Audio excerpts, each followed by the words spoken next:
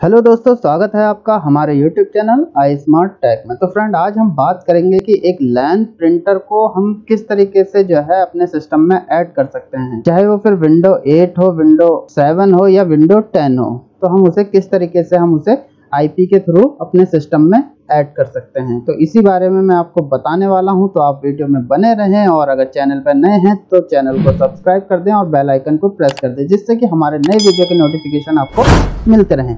तो आइए फ्रेंड शुरू करते हैं आज की वीडियो तो फ्रेंड सबसे पहले आपको क्या करना है कि कंट्रोल पैनल खोल लेना है। कंट्रोल पैनल में आपको डिवाइस एंड प्रिंटर पे क्लिक करना है। जैसे आप डिवाइस एंड प्रिंटर पे क्लिक करेंगे तो आपको जो है ऐड प्रिंटर पे क्लिक करना है। ऐड प्रिंटर पे क्लिक करने के बाद आपको जो है यहाँ पे क्लिक करना है। यहाँ पे क्लिक करने के बाद आपको जो है add a printer using TCP IP address और होस्ट नेम पे क्लिक करना है और नेक्स्ट कर देना है।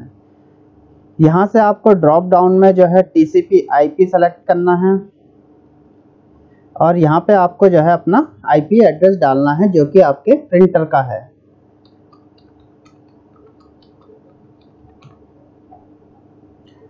और जो है, इसे जो है आप यहाँ पे टिक कर सकते हैं या नहीं भी करेंगे, कोई प्रॉब्लम नहीं है। उसके बाद आपको जो है नेक्स्ट कर देना है।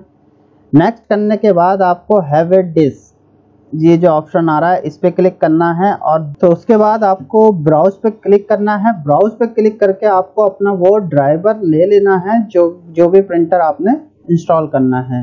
तो हमारे केस में जो है, यहाँ पे है ड्राइवर के अंदर। ये यहाँ से जो है, हमें ड्राइवर ले लेना है। अगर आपका ऑपरेटिंग सिस्टम 64 में है तो ये ड्राइवर लेना है।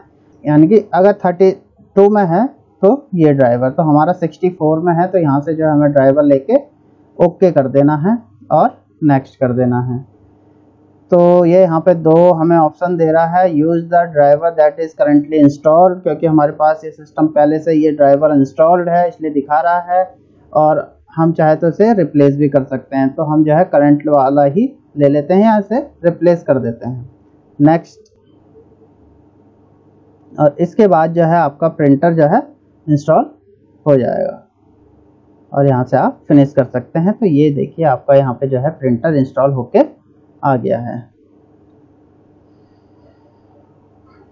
तो इस तरीके से आप जो है विंडो सेवन विंडो एट या विंडो 10 किसी में भी जो है अपना लैन प्रिंटर जो है इंस्टॉल कर सकते हैं आईपी के थ्रू।